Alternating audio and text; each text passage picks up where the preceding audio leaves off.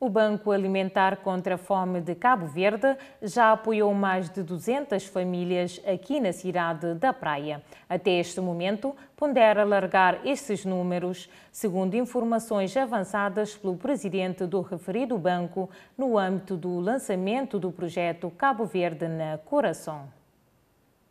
O Banco Alimentar contra a Fome de Cabo Verde tem sido para muitas famílias um refúgio quando se fala no apoio em espécie de alimentos. Os números das famílias beneficiadas na cidade de Praia até este momento já atingiram as duas centenas, disse a presidente do referido banco. Nós, nós, nós sabemos sim, porque nós, as nossas famílias, como já disse, têm esse público-alvo bem definido, trabalhamos com associações, só aqui na Praia são 200 famílias mensalmente.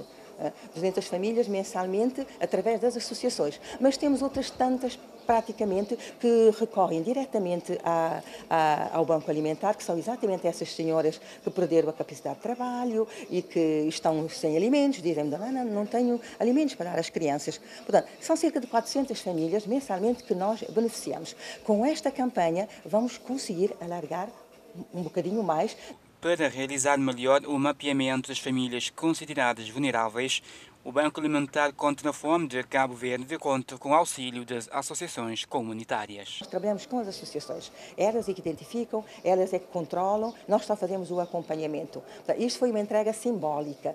Eh, dependendo de, de, de, da quantidade de, dinheiro que foi, for enviado, nós vamos fazendo as cestas básicas. Procura é enorme. Procura, nós já fizemos o levantamento em todas as ilhas, já temos eh, de Santo Antão à Brava, pelo menos já 20 famílias identificadas muito vulneráveis que precisam de apoio. Mas é claro que há muito mais, não é? Mas para já vamos ter de uh, dar essas, essas respostas. Portanto, nós vamos entregar o maior número de famílias possível, portanto, chegar o maior número de pessoas uh, que tenham necessidade.